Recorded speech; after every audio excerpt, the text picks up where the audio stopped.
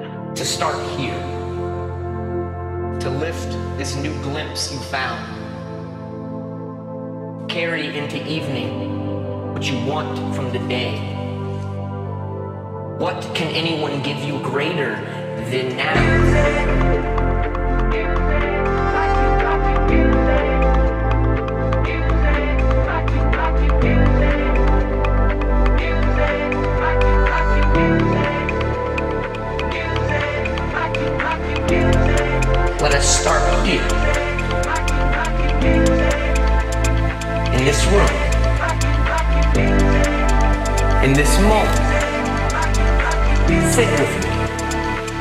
And hold tight.